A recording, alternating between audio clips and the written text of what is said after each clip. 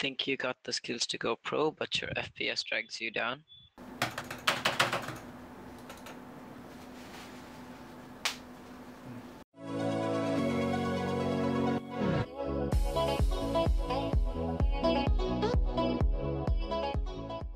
Here's the solution to his problem. So we have the GTX 1050 Ti OC edition from Zotac in the house. This is a low budget, high performance card. This card is aimed to you guys, the esport gamers who need high frame rates at a low price and also for those who have a low budget. So coming to the low price of this card, how low is it priced? This card ranges from around 12,500 to 13,000 rupees. Let's talk numbers. So this here is a 4GB DDR5 VRAM card clocked at a base frequency of 1392 MHz and boost up to 1506 MHz and it has 768 CUDA cores in it. So we have uh, three I/O ports over here. One is the HDMI 2.0, one is the DisplayPort 1.4 and one is a simple DVI port. This card's got two variants. One is the 1050 Ti Mini and this one that we have right here is the OC edition. The only difference is with the clock speeds and the number of fans. That one has one compared to the two on this. The fans are pretty sufficient to cool this card. But who cares about the number of fans or the clock speed of the card? What matters with this card is the frame rates. So let's get talking in the benchmarks. And the frame rates that we get on Inferno and Nuke. Let's find out.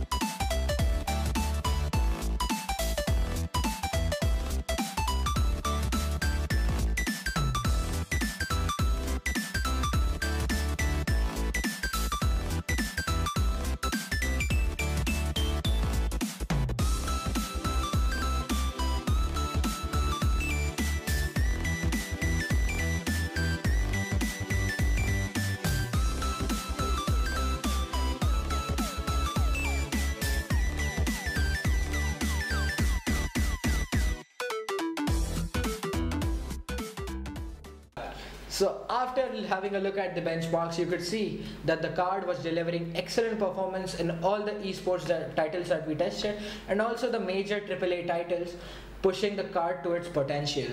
So at the cost of 13,000 rupees, this card was having a difference of over 20 FPS with the 1066 GB edition, which is priced at 26,000. So for me, this card is really good for the budget. A big thank you to the guys at Zotac for sending us this card to review. We hope you send us more cards.